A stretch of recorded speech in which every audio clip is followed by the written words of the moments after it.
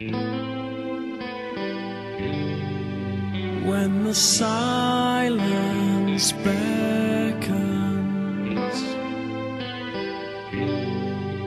and the day draws to a close.